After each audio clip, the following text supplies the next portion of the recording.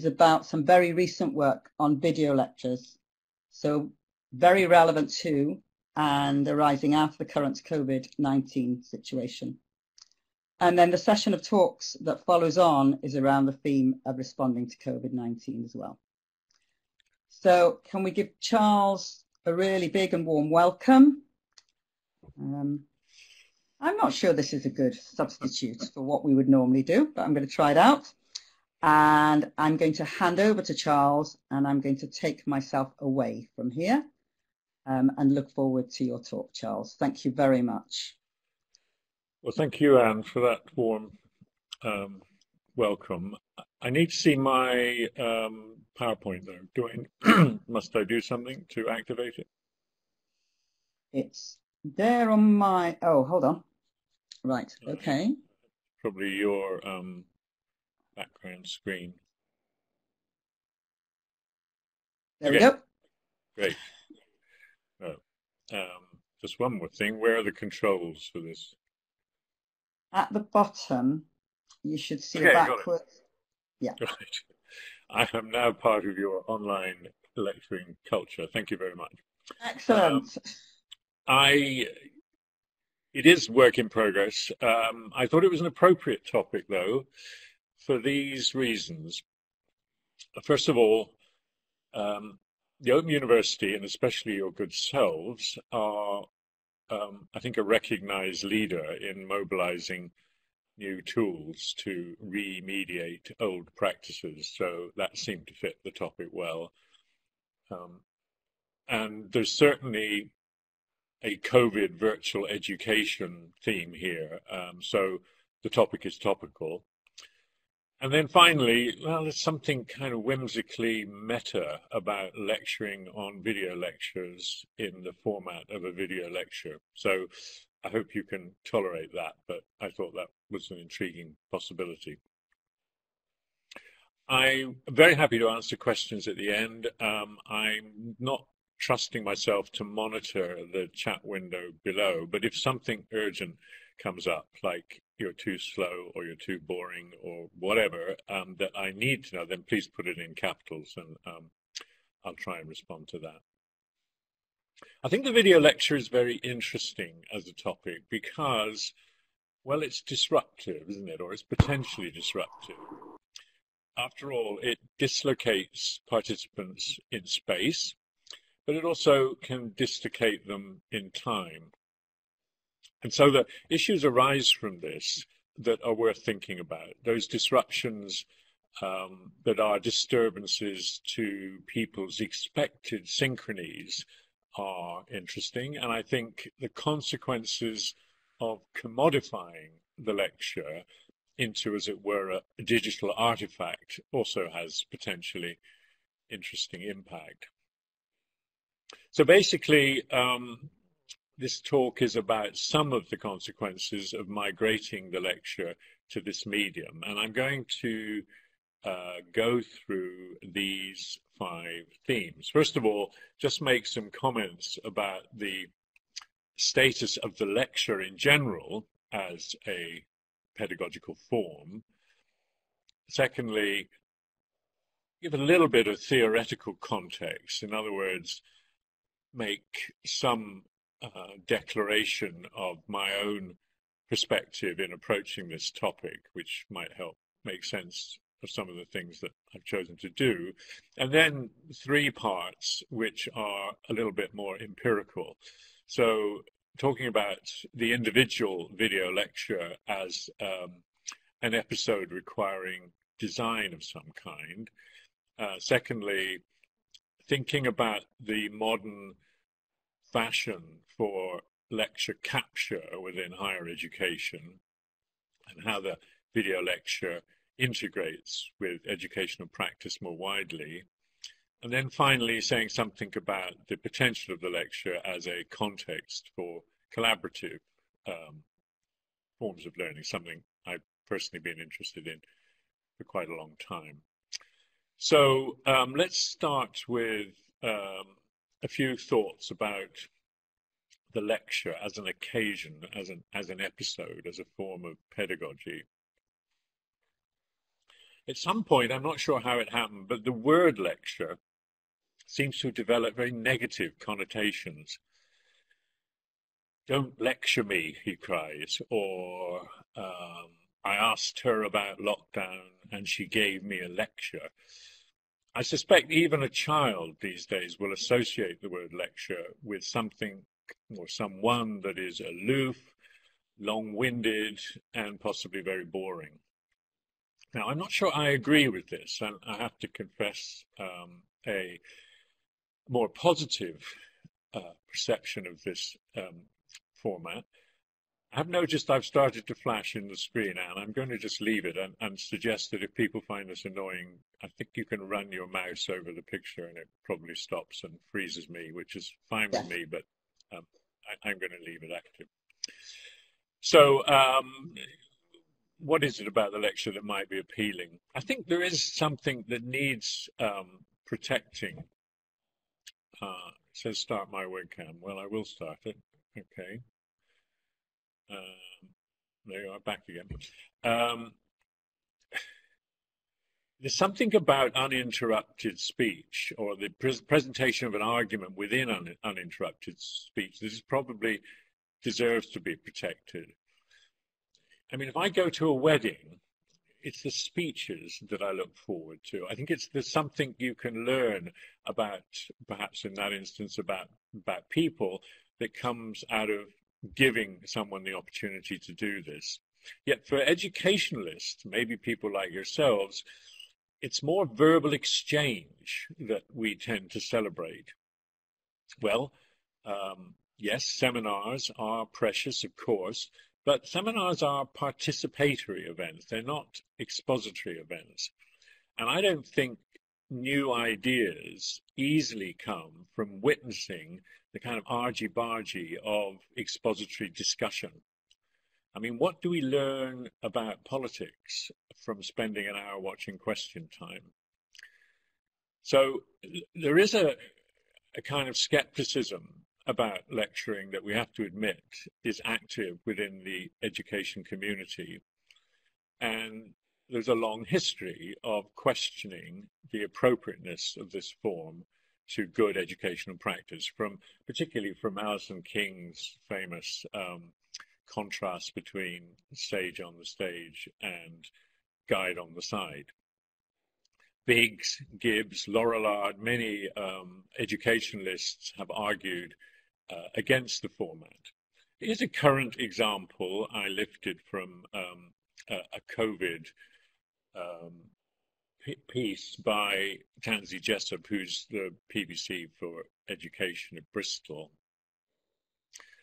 Um, she's talking about the totemic status of lectures. Anyone who's worked within an inch of higher education in the last 10 or 15 years will know that attendance at live lectures has dwindled dramatically since the installation of lecture capture, which records dulcet and droning tones of the lecture. And clearly, um, the dulcet and droning tones is a signal of Professor Jessop's uh, skepticism about the value of lectures and about the appeal of lecturers and lecturing. Now, interestingly, I think um, Jessop's piece is itself a lecture, really, although it's written down rather than spoken. And of course, exposition can be in text rather than in voice. But I want to suggest that something valuable is added um, by the human presence that we create when um, exposition is delivered in this kind of vocal form.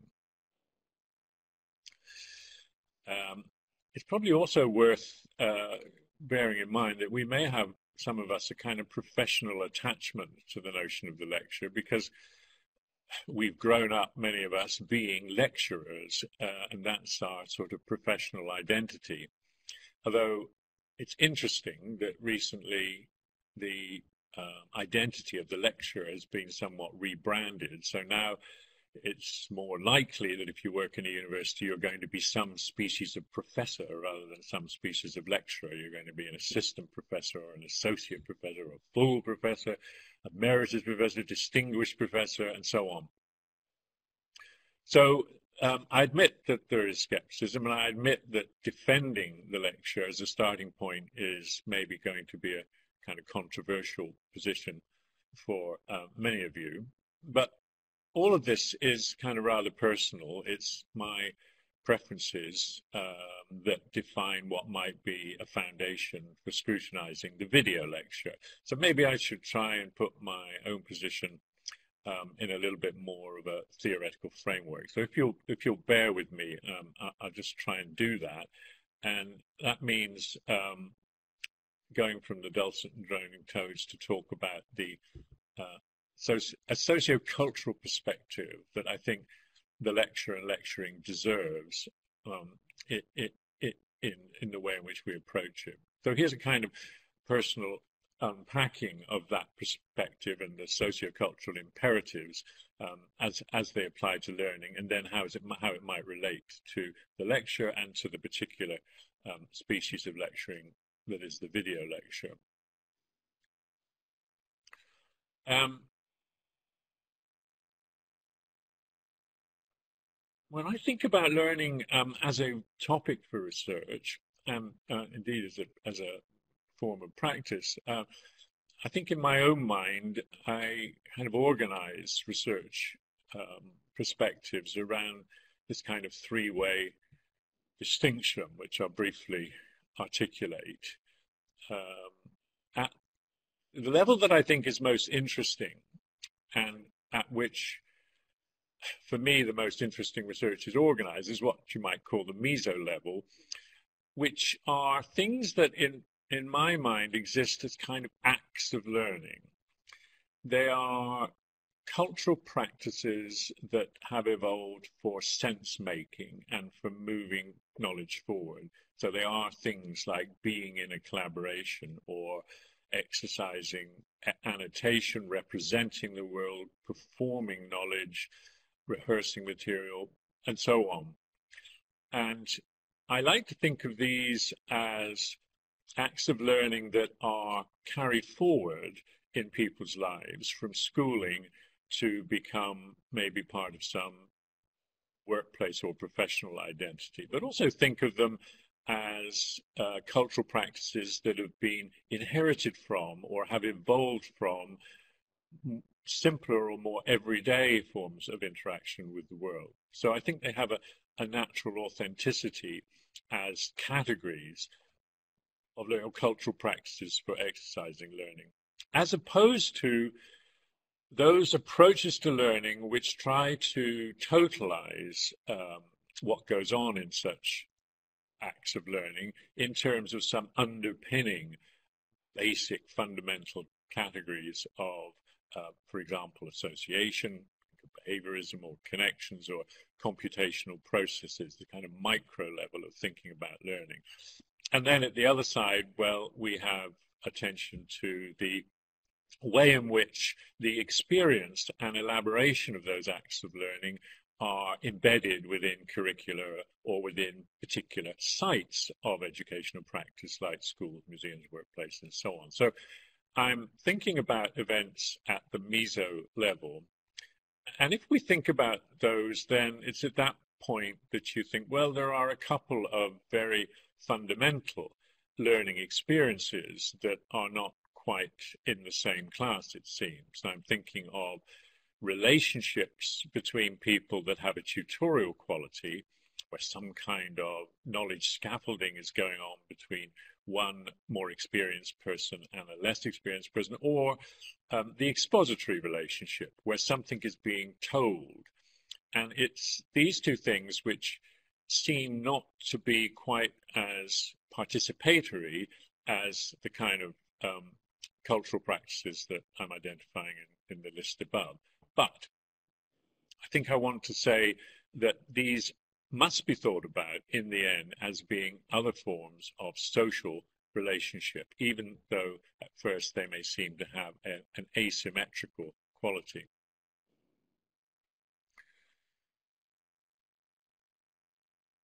So the argument would be that as with the list um, above, the collaboration list as it were, these kind of relationships here um, do also have their genesis within, as it were, the domestic environment, so that um, the relationships that we recognize in education as having a tutorial quality are an echo of something that's taken place in, well, breakfast time conversations or whatever in, in that domestic environment. And similarly, the expository relationships that we celebrate in educational contexts um, have their origin within our tolerance as young people to the bedtime story or the telling of events um, that would be a natural part of domestic life. So they're culturally um, continuous in that sense.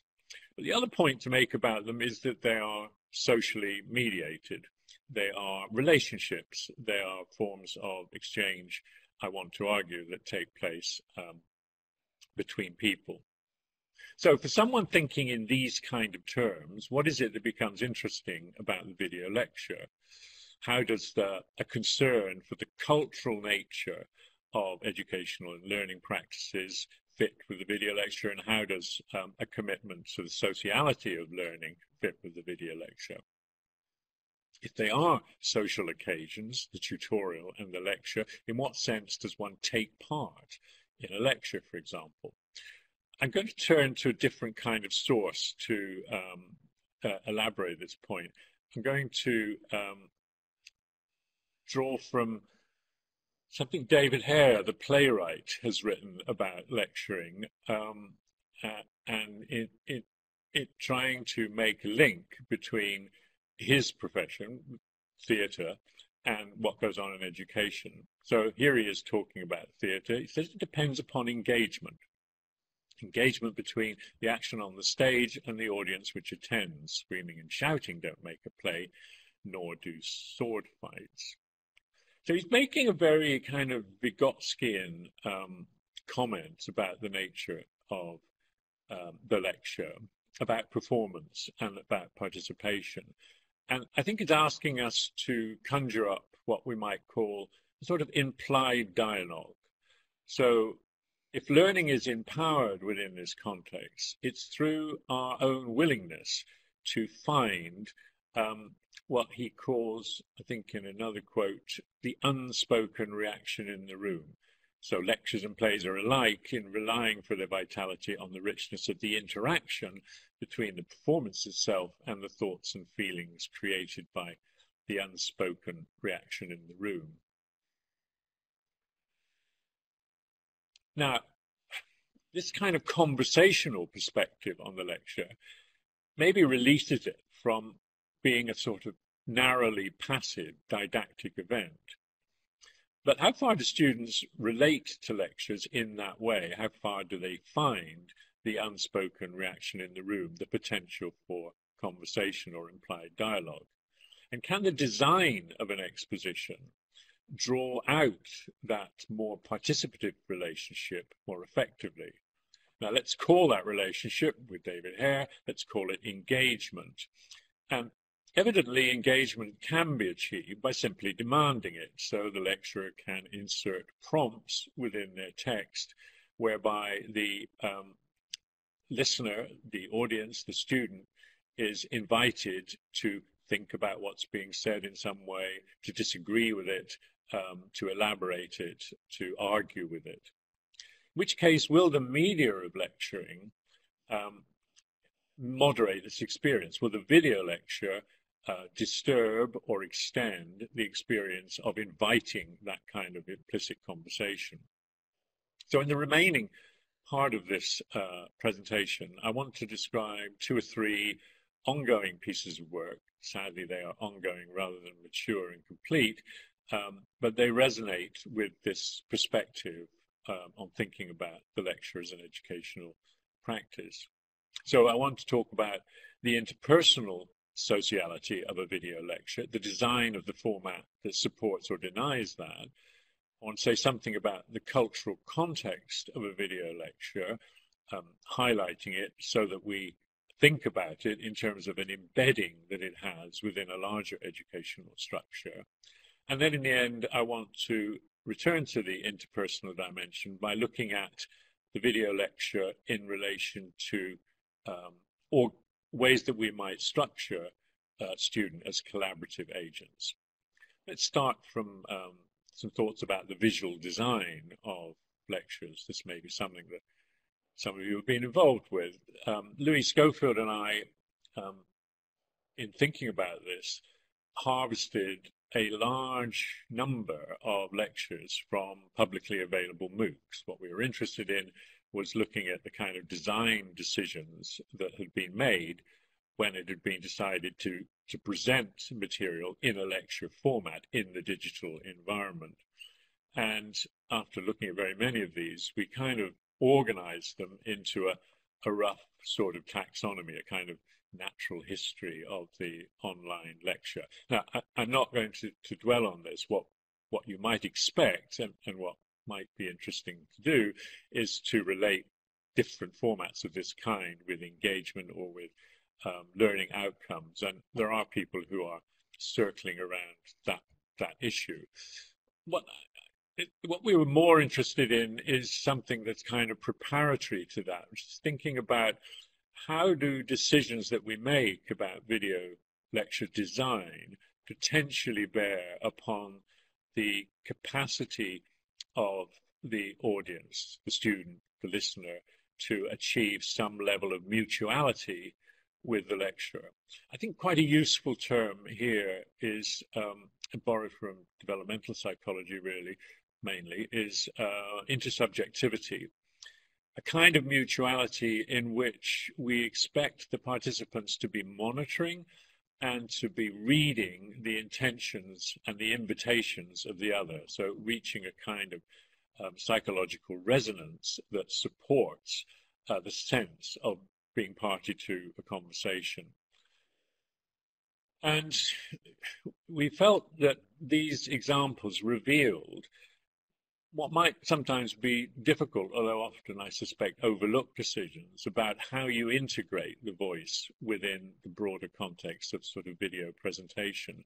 So we thought, well, you could talk about lecture, the staging of lectures, if you like, as being, when they are videoed in form, as, as having certain um, uh, imperatives for design. So, for example, um, the designer, the editor, uh, might engage in various kinds of cross-cutting in putting together a lecture, in which case the agency of the participant, the listener, is um, taken from them because now their attentional focus is being managed external to themselves. It's a job that the editor chooses to uh, take responsibility for. And then we also felt we saw a kind of problem of what we call modality alignment that um, again, design fails to accurately render what the lecturer is trying to signal as their momentary attention. So this would obviously be most um, uh, striking within a context where we're talking over visual material, as I'm doing now, and how attitude and gesture and visual orientation and body movements and positions and so on would help um, render the, uh, the speaker's uh, attention at particular moments within within the lecturing discourse. Issues of depth of field. So there's something about the video that renders the lecturer more distant. I mean, literally, because size constancy mechanisms are not active to bring them forward and make them more prominent within that sense of presence that you're trying to create. Um, some lectures would have jump cuts in which things would be inserted um, post hoc, or there would be enforced discontinuities of other kinds in time and space that again disrupt that sense of being party to an unfolding narrative. Because the video lecture is probably something that is a little time and labor intensive to create, then it's something that you want to get right. And so um, that means special care is taken to maybe extract from it some of that improvised quality, some of that spontaneous quality um, that maybe we don't risk uh, retaining when it's something that is going to be shelved and reused and so on. So um, that could be an issue. And then finally, um, video lectures tend not to have a decor, um, although I know there's much um, much discussion at the moment about the way people place things in the background of their video. As um, you won't find much in the background of this one, but uh, uh, it, it is something for which decor is possible. But usually, it's a kind of placeness anonymity that one uh, experiences as someone attending a visual, visual lecture. And most of these matters fracture potentially the effective intersubjectivity um, that we're we should be striving to achieve between the speaker and the listener. And this last point about decor, although in some sense may seem trivial, it is something that is, in our experience in talking to students anyway, it's most commonly articulated as a kind of um, case for attendance. It's a community experience. Students will often say that what's important for them in being uh, an attender at lectures is that they are reminded of the community to which they belong and they are able to understand that a lot of other people like themselves may be struggling with this material or intrigued by this material, but have a relationship with this material as part of a sort of common shared experience. So the decor is not entirely trivial. The fact that we gather in the same place with the same people in the same sort of configurations is something that creates a strong sense of community and maybe is something, again, that can be fractured by the way we approach um, the design of the recorded lecture. Now, um, so one of the things that worried me about doing a exercise of that kind um, that is to say, taking the individual lecture and sort of deconstructing it in terms of the way in which design um, imposes constraints or affordances on the listener's experience. One of my reservations was that actually lectures don't exist in this isolated way most of the time, at least if you are um, if your concern is with practice within higher education, then maybe we should be talking about um, lecturing rather than lectures. So lectures have um, a, they are embedded within a wider educational um, practice, and we would be unwise to analyze them as kind of isolated episodes. So want to move towards thinking about what it means to orient towards the lecture as part of a bigger structure in that sense. Now, my credentials for commenting on this are limited, um, I've spent a lot of time reading the literature on lecture capture, uh, actually on behalf of my university. It's not a very inspiring literature, but I think I've got my head around it. But I've also talked to um, a, a cross section of lecturers within my own institution, trying to get underneath their own understanding of how this form of activity fits to their discipline and how it fits to what they're trying to achieve as educators. In the course of doing that, I've looked at the um, VLE logs that have been um, associated with the courses that these lecturers teach. Now, I had a particular reason for doing that. Um, it seemed to me that if you implement lecture capture, what you're doing is extending the demand on the student in terms of how they spend their time. It's an extra thing to go to a lecture and then subsequently to revisit it.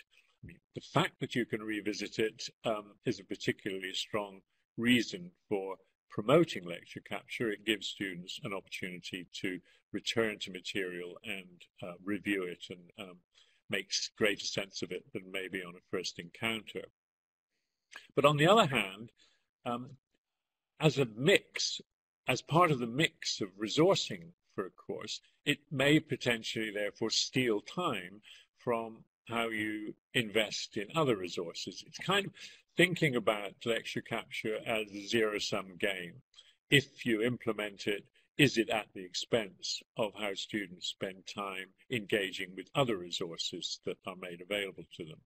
So uh, here's some um, illustrations from our exploration of that idea, which involved looking at courses in the year in which lecture capture was introduced, and then thinking how the students' engagement with the course resources more widely compared with um, those deliveries of the course prior to lecture capture. I hope that makes sense. But let's look at an illustration. Here, is, here are two diagrams that show for individual students in rows um, the the number of times are hidden and turned into merely uh, colored blocks, but in columns, the day by day unfolding of a course, in this case in plant science. And on the left hand side, you see how frequently the students on this course engage with lecture capture, uh, recorded video lectures. And uh, these are organized from the most intensive user down to the least intensive user. So although this is a course in which probably more than average students use lecture capture, it's probably fair to say that it was not widely embraced.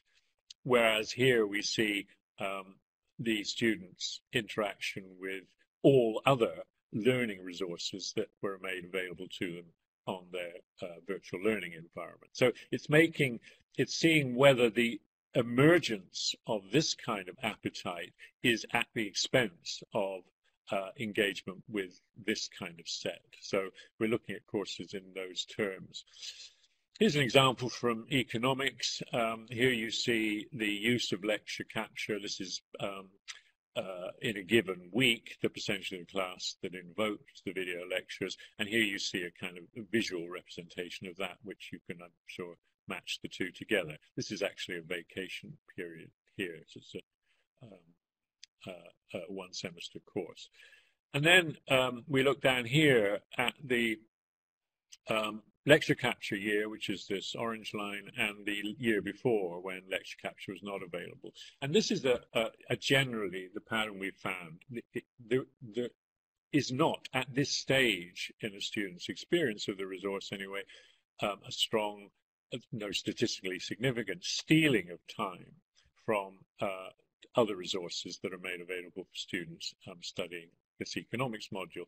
And then another example from geography, uh, again, looking over three years with the black line here showing the kind of baseline pre-lecture capture um, engagement levels with VLE resources. So I suppose the things to notice are that lecture capture video lectures are not widely used. This says nothing about how long a session a student might spend with a lecture, of course, but it, it indicates the frequency with which they might be fired up um, for some kind of viewing, and they don't seem to be stealing time from um, other materials that students are invited to study. Here's a, a finally a, a, course in quantum physics, um, again uh, looked at over three years with the blue line, um, no, both the blue and the orange line representing um, resources across the two semester session of studying this module. So you might say, well, this is encouraging. Um, it's not stealing time. Somebody slipped in there. Okay. It's not stealing time from somewhere else. Um, let's have a, a, look at another point that Professor Jessop makes in her exposition on the digital, the changing digital environment university. Students vote with their feet, she claims, and when there is no value added to engagement, interaction, or inspiration, they flick on their laptops, blah, blah, blah, fast forwarding when they're bored. And so the idea is that um, the skeptic about lecturing is um, offering as an alternative, as an attractive alternative, the video encounter instead, and arguing that um, this is what the appetite of the student, the modern student is, and this is what we can expect to happen. Actually, the literature doesn't really support this. Um, the, lecture, the literature is very varied. Um, you find studies in which attendance falls, and you uh, find study where attendance stays constant. And I think the important message of that is the unsurprising one, maybe, that actually um, different courses, different styles of lecturing, different disciplines um, are more or less suitable to the notion that you would want to revisit and review a lecture.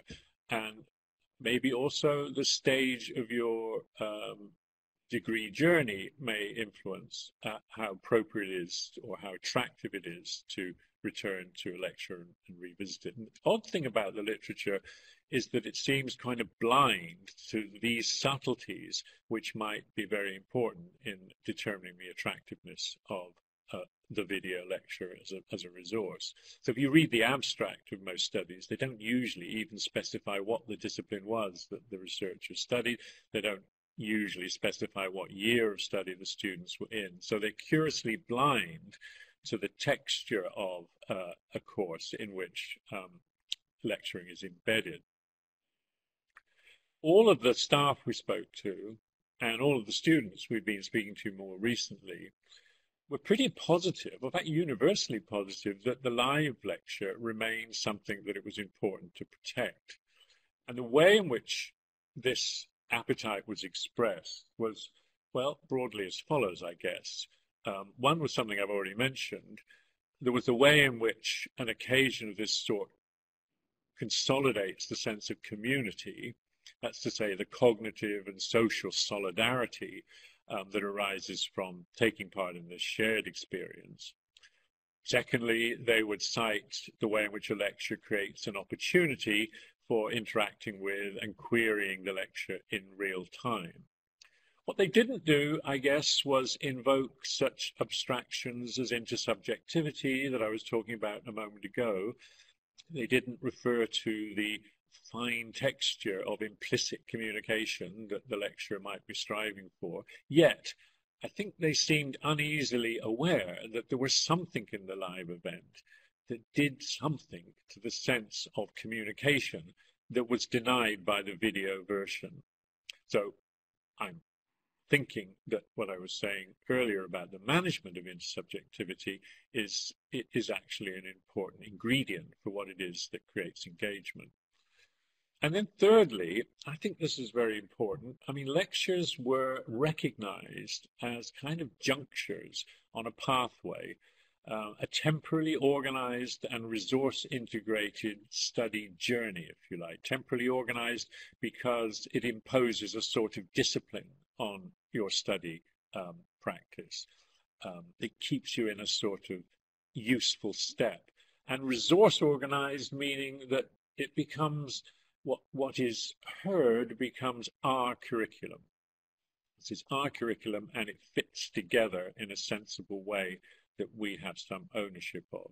So lectures certainly welcomed um, aspects of lecture capture and the video lecture as an inclusion issue, but then they worried a lot about how it could tempt the student sojourner off their study route.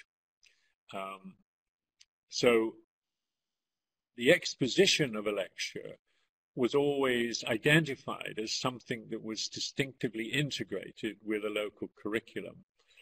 And um, the student risks sort of violating that integrity by using the medium as a kind of binge study uh, opportunity and lecturers who perceived loss of attendance worried not so much about having small audiences, but worried about the practice they felt students were adopting of coming back to lectures for the first viewing in a kind of binge type way, um, often before assessment, of course, but uh, uh, later on it, in such a way that it disturbed the natural unfolding uh, narrative of the study that the teacher was trying to create. So that the capturing of lectures is evidently is controversial. Uh, I mean, one thing you find in the literature is quite a large number of studies in which the student perspective is compared with the teacher perspective. And um, uh, particularly in the social sciences and humanities, there's a great deal of skepticism about the value of going in this direction. If we look at the final paragraph I want to lift from Professor Jessop's recent article. Um, we find a very um, welcome acknowledgement that what it is students might be seeking within a higher educational context is some sense of close contact with lecturers and other students um, as an ingredient to the, well, indeed, the very stuff of learning. And I've tried to argue earlier that that closeness of contact was something that has to be managed carefully um, and is a kind of nuanced achievement when we think about the design of um, video lectures. And I'm arguing in thinking about the captured lecture that there is a danger of students acquiring practices of consuming those lectures in ways that disturb the sense of community uh, that we're striving to create within the student experience and the sense of narrative that would be important in the um, unfolding curriculum. But I want to turn finally to a further way in which um, sociality of lecturing can be celebrated, and particularly how it can be maybe uh, enriched within this kind of COVID world of um, more intense digital education. So let me say something about what I'm calling lecture supported collaborative learning. Now, many of you here, all of you here probably, will be um, familiar with the acronym CSCL, because that, of course, stands for Computer Supported Collaborative Learning. So I'm borrowing that and saying, well, what about lecture supported collaborative learning? Now, not something that we are um, seeking within the episode of the individual lecture, but something that we're seeking from making the lecture a resource for collaborative learning. Now, often it seems to me in the CSCL literature,